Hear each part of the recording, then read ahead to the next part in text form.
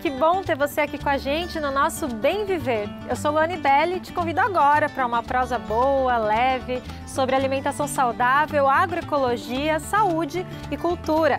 Vamos junto pensar num jeito diferente de viver, com mais saúde, mais solidariedade e menos exploração das pessoas e do meio ambiente. Hoje você vai conhecer mais a fundo os princípios da agroecologia e depois vai ver como isso funciona na prática com uma iniciativa da comunidade de Passarinho, na região metropolitana de Recife. Também tem uma reportagem sobre os benefícios do urucum para a nossa saúde, além de uma receita muito afetuosa de um bolo que é tradicional em Goiás.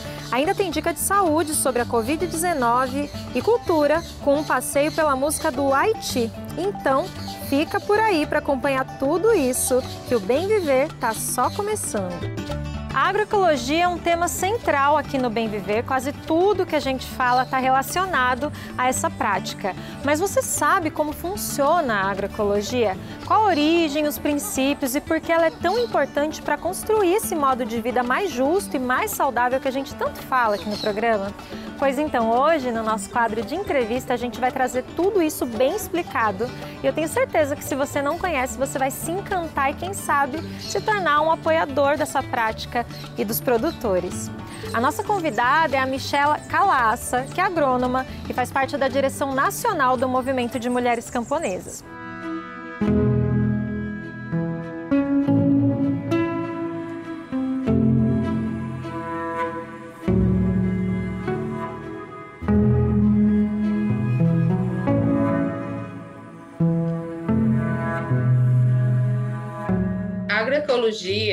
Ela foi um nome dado é, pelos cientistas à prática que os camponeses, os indígenas, os quilombolas já faziam há milhares de anos. Então, veja, ela já nasce nessa lógica, é a academia dialogando com o conhecimento tradicional camponês, né? E aí camponês em sua diversidade do que é campesinato no Brasil e na América Latina é, para olhar essas práticas, como que eles se relacionam com a natureza e propor um outro modelo de organizar a produção.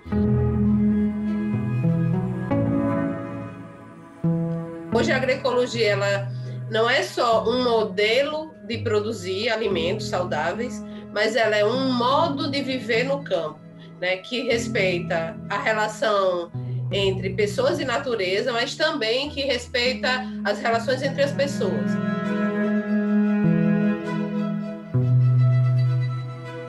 Na agronomia, a gente aprende que as melhores sementes são as sementes que são melhoradas, que são híbridas, que têm modificação genética. E a gente aprende com a experiência camponesa. E a agroecologia bebe nisso que a melhor semente para cada local é a semente tradicional daquele local.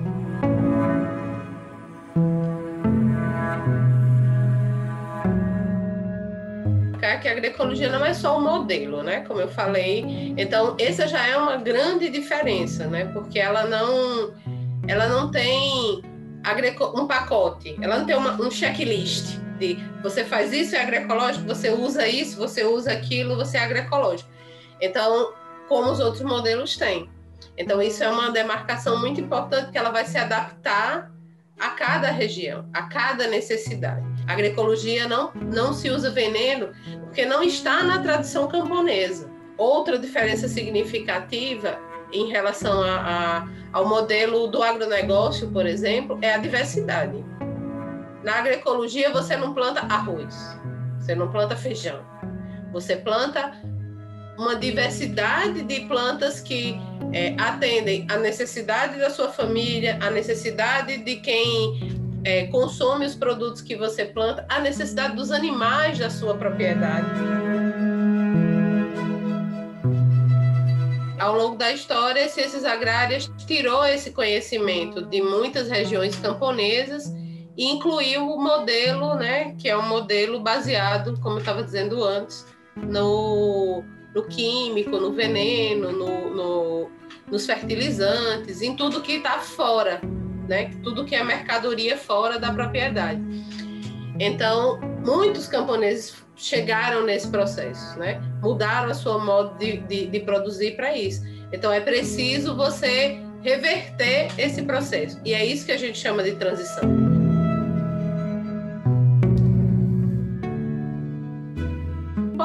A agroecologia, ela resgata esse conhecimento e ao mesmo tempo ela tem espaço para as mulheres colocarem que elas não vão entrar de novo na invisibilidade, porque elas constroem a agroecologia, elas produzem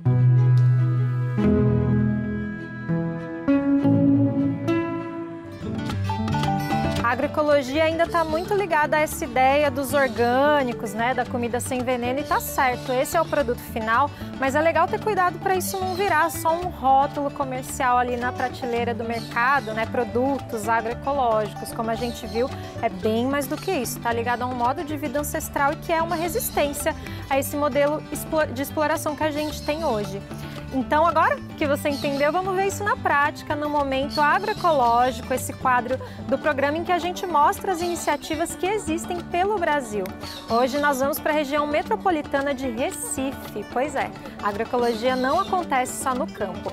Lá na comunidade de Passarinho, um grupo de mulheres estão liderando um coletivo para implantar uma rede agroecológica que está expandindo para outros bairros. Essa iniciativa surgiu durante a pandemia da Covid-19 e está cumprindo um papel fundamental na segurança alimentar das pessoas, além de fortalecer uma luta antiga pelo direito à cidade.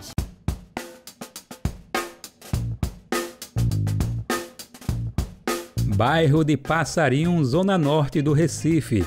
É nesta comunidade que fica no limite entre três municípios da região metropolitana que brotou o grupo Espaço Mulher, um ambiente de resistência das mulheres da comunidade.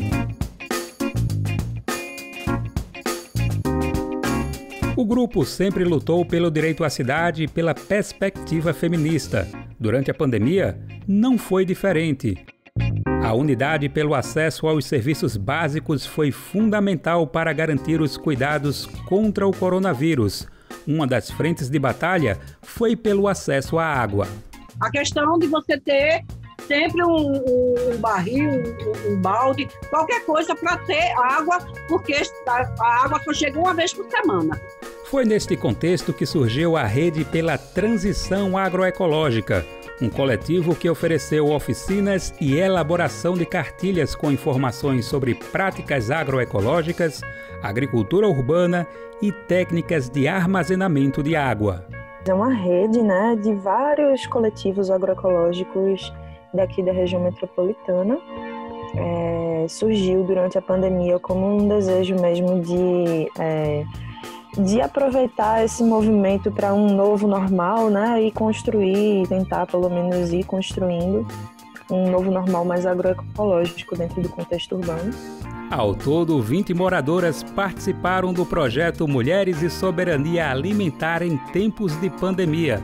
Foram seis meses de troca de experiências, plantios, oficinas e articulação com outras comunidades. Além de oferecer novos conhecimentos, o encontro também garantiu fonte de renda e autonomia para as mulheres do bairro, sem esquecer da formação de novos hábitos. A gente conseguiu comprar é, bombonas, são tambores de 200 litros de água. Então as mulheres começaram a captar essa água quando chegava água. Elas armazenavam essa água nesses tambores. Agora o foco é articular outras comunidades e solidificar a rede pela transição agroecológica nos bairros do Grande Recife. Olá, eu sou Alexandre, sou coordenador do Centro Sabiá, coordenador executivo da ASA da Articulação do Semiário e estou aqui na Agroecológica, que é um espaço fixo de comercialização de produtos da agricultura familiar de base agroecológica e orgânica na cidade do Recife. A agroecologia recebe produtos de vários agricultores assentados da reforma agrária, da agricultura familiar, de comunidades quilombolas, comunidades tradicionais. E essa iniciativa fortalece a agricultura camponesa, fortalece a cultura alimentar e a nossa soberania sobre aquilo que a gente está se alimentando. Então apoie você também essas iniciativas comprando das feiras agroecológicas, das feiras orgânicas e dos espaços fixos de comercialização da agricultura familiar. Valeu, Alexandre. Deixa um abraço aí para vocês em nome de toda a equipe do Brasil de Fato. E esse trabalho né, de vocês aí em Recife, também das mulheres da comunidade Passarinho que a gente viu hoje, é, antes, né, dá muito orgulho. E como ele falou, né, gente, você que está em casa, apoie o trabalho desses produtores, procura aí uma iniciativa, uma feira agroecológica que eu tenho certeza que você vai gostar. Falando em feira agroecológica, tem produtos que a gente só encontra nesses locais, produtos que nós geralmente consumimos dos supermercados, mas que perdem a qualidade e não têm todas as propriedades que o produto fresco, natural. E um deles é o urucum. No mercado a gente acha ele como coloral e usa como tempero para dar cor as comidas, mas o urucum natural mesmo, que vem da semente da fruta, não processado, aquele que é usado tradicionalmente pelos indígenas, ele tem várias outras funções e uma delas que é muito importante é o uso medicinal. Então vamos saber como isso funciona no quadro Alimenta Saúde. O urucum essa fruta com sementes bem vermelhas foi o primeiro corante vegetal comercializado das Américas para a Europa. Seu nome, que vem do tupi, significa vermelho e é tradicionalmente utilizado por indígenas brasileiros como matéria-prima para tintura, protetor solar e repelente. Além disso, o urucum também está presente no preparo de deliciosos pratos. Tainá Marajoara é chefe de cozinha indígena do Pará ela nos conta um pouco mais sobre esse condimento e a importância para os povos originários.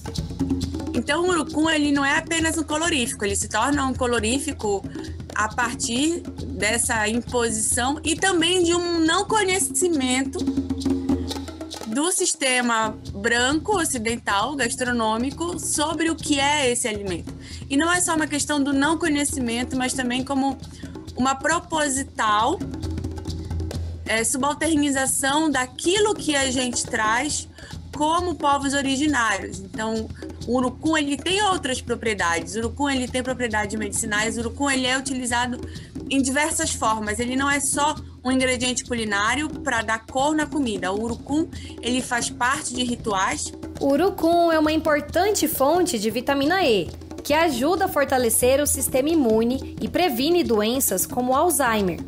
O fruto também possui ações anti-inflamatórias e antioxidantes. Porém, nutricionistas alertam para contraindicações em casos de gestantes, pelo efeito abortivo. Tainá complementa dando dicas de como usar o urucum em vários pratos. Já anota aí. Quando a gente vai utilizar o urucum, seja ele na forma de pó, seja ele na sementinha ou especialmente ele já diluído, ele pode ser usado nas pimentas para fazer um molho de pimenta, mas lembrando, é sempre só um pouquinho, porque ele tem um gosto tão forte quanto a cor dele. Então, quando ele vai para o feijão, a gente usa um pouquinho, usa uma colher, duas colheres, dependendo da quantidade ali da panela, o que que tu estás querendo fazer. Se tu não sabes aonde que tu vais achar urucum fresco, é sempre aquele mandamento primordial na feira agroecológica sempre com os agricultores, sempre com os povos originários, procurem direto os produtores, porque são produtos que vêm dos territórios de uso coletivo.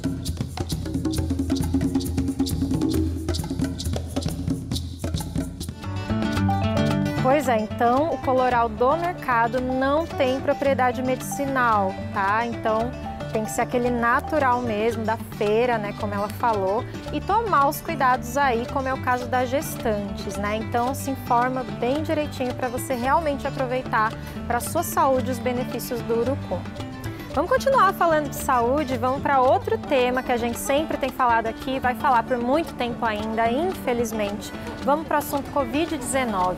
Muito se fala em prevenção para evitar ficar doente, ninguém quer isso, mas caso a gente não escape de adoecer, o que acontece depois? O que fazer? Quanto tempo até sair de casa? Quanto tempo dura a parte mais crítica dos sintomas?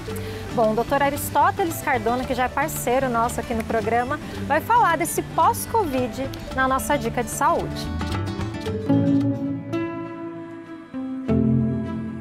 Quando a gente fala em pós-Covid ou o que vem depois de uma infecção por Covid, a gente pode pensar em dois momentos diferentes.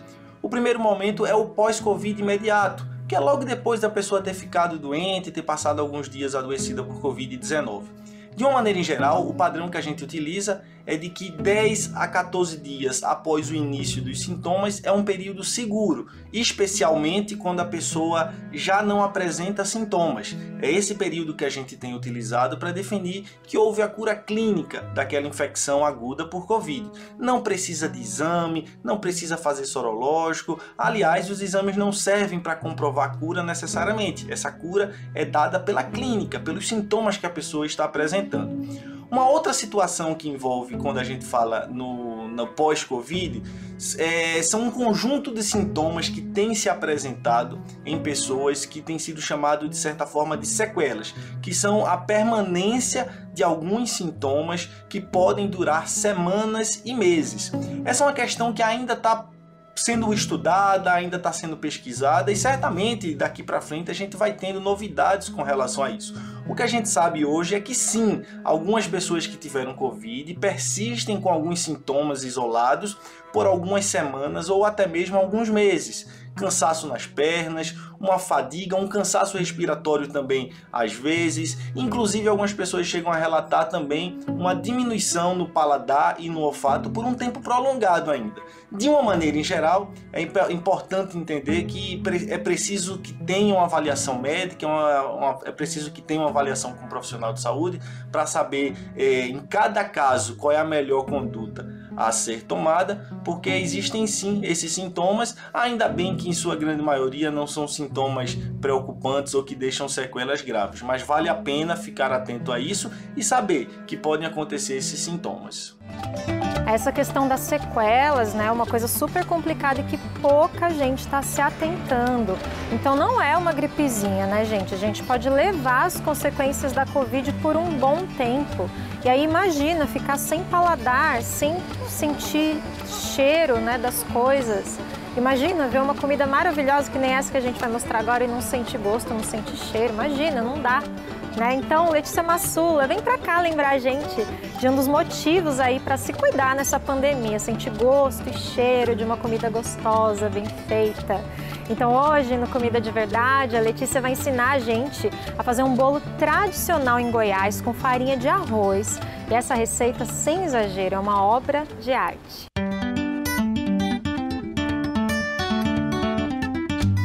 Bom dia, Luana. Bom dia para quem está em casa. A receita de hoje vem lá da cidade de Goiás. É esse bolo de arroz super tradicional. E é uma receita cheia de amor, porque ela não vem de qualquer lugar. Ela vem desse livro aqui, do projeto Mulheres Coralinas. Para fazer o bolo de arroz, você vai precisar, é claro, de farinha de arroz ou fubá de arroz, como a gente chama por aqui. São três copos. Eu usei de medida esse copo aqui, que é a mesma medida do copo americano. Um copo e meio de açúcar, um copo de queijo ralado, um copo quase cheio de óleo e leite é até dar ponto, mais ou menos um copo. Três ovos inteiros, fermento em pó químico, uma pitadinha de sal algumas dicas bem importantes que valem para qualquer bolo que você for fazer em casa. Primeiro, começou o bolo? Já liga o forno. Ele tem que estar tá bem quente. Se a gente coloca o bolo no forno frio, ele vai embatumar. Segunda dica super importante é peneirar todos os ingredientes secos.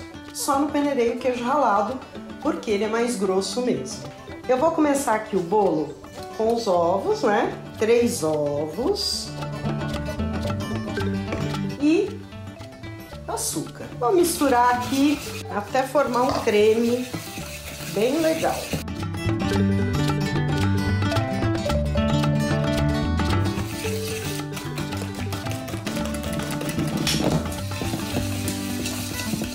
Agora eu vou acrescentar a farinha de arroz, como eu disse, super bem peneirada. É isso que vai garantir que seu bolo vai ficar levinho, que ele não vai ter grumos, que ele não vai ter pedaços de farinha no meio. É sempre peneirar bastante, bater bastante. Então vou colocar aqui a farinha de arroz. Vocês vão ver que a massa já vai ficando mais dura. Aí eu vou juntar o queijo ralado, um copo. e a pitada de sal. Né? Vai ficar no ponto de massa de bolo. Então vamos lá com leite. Antes eu vou fazer assim um truquinho que eu sempre gosto. Eu gosto de misturar o fermento em pó químico com um pouquinho do leite da receita.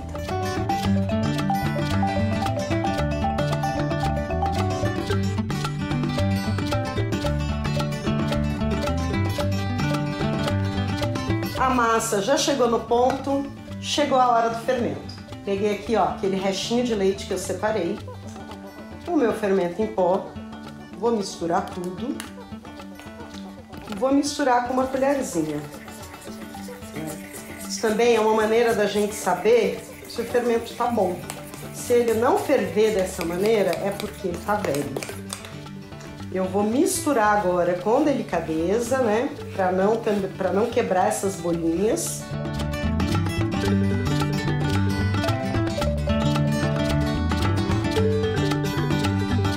Aqui as forminhas. Eu untei e passei a farinha de arroz. Vamos lá, vou colocar a massa em cada uma das forminhas. Não pode lotar, porque ele vai crescer, mas também não precisa ser tão pouco, mais ou menos, ó, duas colheres de massa.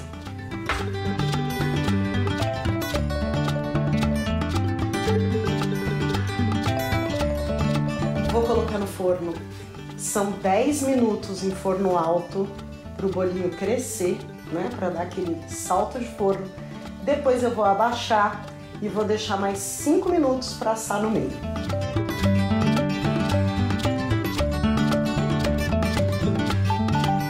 Quero contar aqui para vocês um pouco mais desse livro. Como eu já disse, é um livro produzido pelas mulheres do projeto Mulheres Coralinas.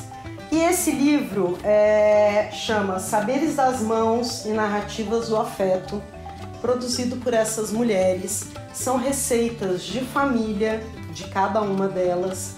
E como toda receita tem uma história, cada receita do livro conta a história da autora daquela receita, né? Hoje a gente fez aqui o bolo de arroz, que se chama bolo de arroz da hora. E quem passou essa receita aqui para o livro das Mulheres Coralinas foi a Marise Curado de Oliveira. Né? Aqui está a história da Marise e aqui está a receita do bolo de arroz da hora. Mas não é só isso. Esse livro eu falei que era por amor, que ele é cheio de história. As mulheres coralinas, elas também encadernaram o livro. E olha, e bordaram a capa. Então, de fato, é um livro feito à mão, com muito amor, com muito carinho. E essas receitas são receitas que a gente não encontra por aí. O bolo já está quase pronto. Vou fazer um cafezinho para tomar com ele e daqui a pouco a gente serve o bolo.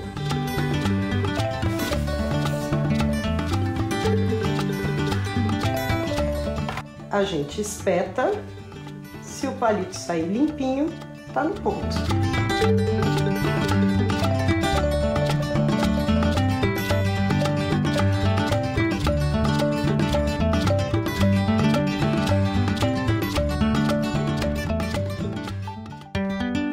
Chegando ao fim do nosso programa, que foi muito lindo hoje, não que os outros não sejam, mas eu achei esse muito especial. E o toque final é aquele de cultura. Vamos para o Mosaico Cultural fazer um passeio pela música do Haiti. Depois do terremoto que aconteceu por lá em 2010, muitos haitianos vieram para o Brasil em busca de recomeçar a vida. E um deles é o David, um jovem músico que veio mostrar para a gente a riqueza da cultura do Haiti e que brasileiros e haitianos têm muitos sonhos em comum.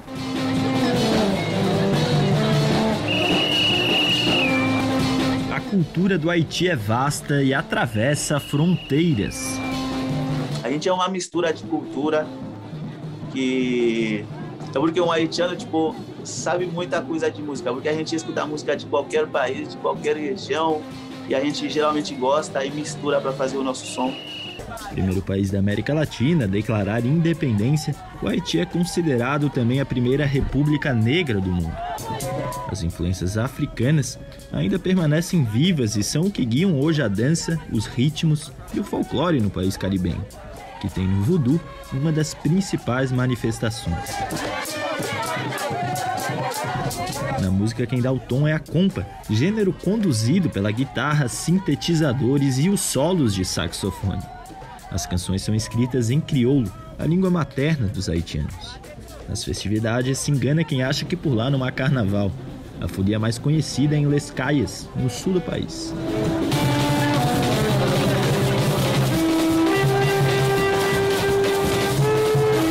David Lover é um dos expoentes da cultura haitiana no Brasil. O rapper tem a vida trilhada pelas rimas. É por meio delas que ele busca retratar sua vinda para cá em busca de um sonho, viver da música.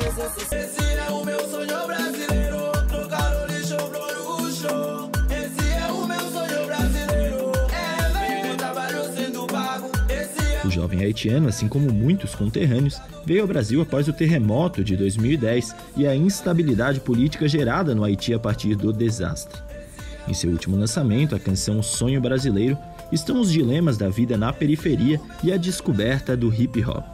A mensagem ele garante que serve para todos. Para sobre a letra, é sim, é sobre favela, porque brasileiros também podem ter um sonho brasileiro. Não é só estrangeiro que pode ter, entendeu? Porque tem favelado, tem gente que está batalhando muito para conseguir uma coisa, então eles também têm um sonho brasileiro, porque pode dar certo também para eles.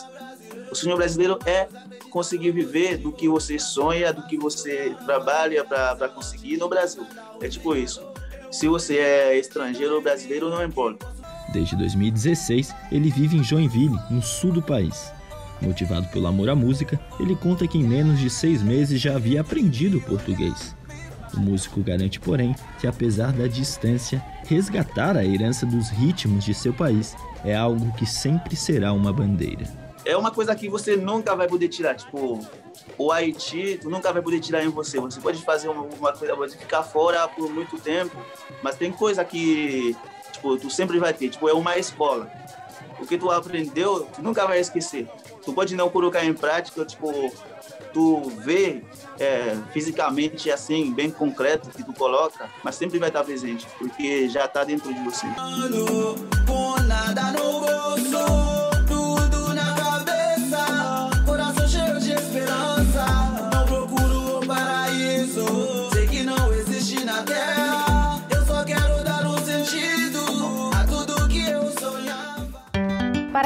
David, pelo trabalho e obrigada a você e aos haitianos que estão aqui com a gente construindo um pouquinho mais da nossa cultura. Né? A riqueza da cultura brasileira tem muito é, do trabalho né, dos imigrantes que já passaram por aqui e que estão com a gente hoje.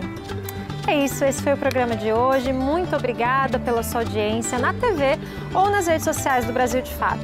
Você pode continuar com a gente na versão de Rádio do Bem Viver, que é de segunda a sexta, às 11 da manhã.